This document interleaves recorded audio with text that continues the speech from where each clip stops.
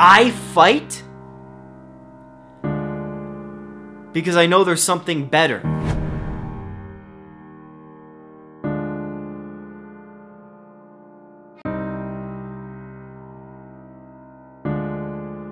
Nicole was only 16 years old when her dad passed away. He had a heart attack in the bathroom. She was the only one in the family that knew CPR.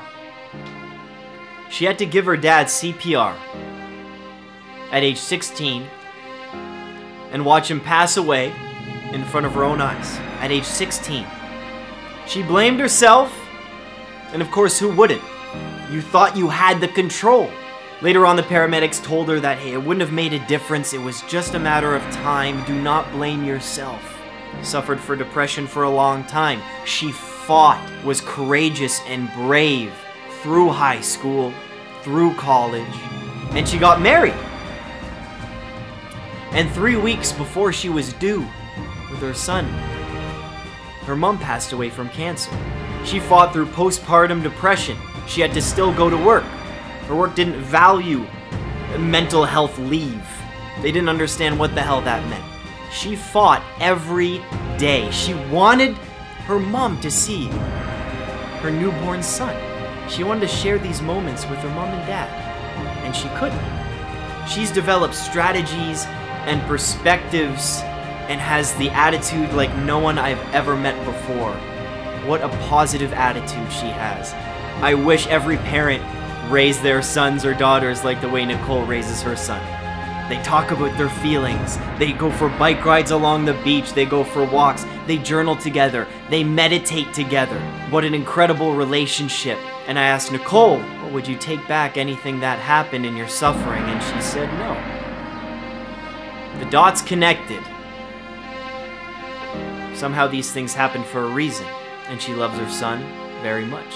Why am I telling you this? Because suffering that we all experience on all kinds of different levels, and the stories that you tell me inspire me, and I cannot believe some of the shit that you have all fought through. I cannot believe what you've been through. And here you are standing, once again, ready to fight for more.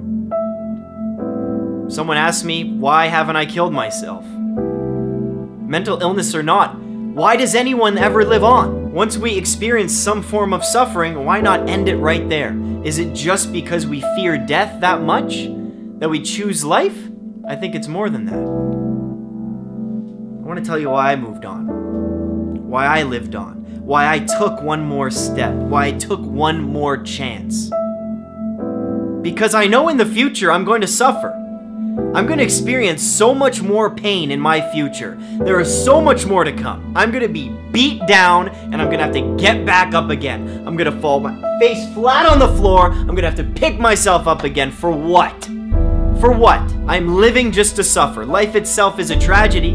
My life ends in death. Everyone I love will die. Life is suffering and tragedy. What's in between that suffering and tragedy is really what matters. I fight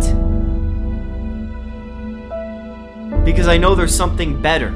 I fight for a better thought to come. I fight to witness myself grow stronger. I fight so that one day, and I've seen it before and I'll see it again, one day, after all the suffering is done and I'm on my journey to heal, I can look at past Scott and say, look where I was and look at where the fuck I am now. And it feels incredible. I want to see myself grow. I want to see new things. I want to travel to new places. I want to smell something new. I want to touch something new. I want to meet new people. I want to see my mom and dad grow old. I want to become closer to my family. I want to grow deeper relationships. That's why I live on. I want to experience more. I want to see Scott grow. I want to use my suffering to continue to empower other people, and you can too. Suffering just doesn't have to grow yourself. You can lift others up at the same time while you're healing. You're bound to get hurt again. You're bound to be depressed again. People I love will die. I will suffer so much more in this lifetime. Why do I fight? Because I choose to. I choose to take that one more step. I choose to fight and take one more breath for hope that I will be happy again, and I always am. It's not just a possibility, it's a probability that you will be happy again. And thank God you're still here. And thank God you're still fighting. I want to let you all know that I'm inspired by how much you fought to be here right now in this very moment. I want to let you know that it's going to get easier and then it's going to get hard again. And it's going to get easier and then it's going to get worse. Better, worse. Better, worse. We're alive. Then we're dead. I fight to witness the change. I want to see the world change. I want to see myself change. I want to learn new things about myself. I want to read. I want to write. I want to see the sun set and the sun rise one more time. I fight because I choose to fight. So do you.